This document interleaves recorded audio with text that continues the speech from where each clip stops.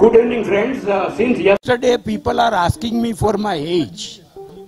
Uh, only hint I can give this song that I am about to play, I was 15 when this song was introduced. Okay?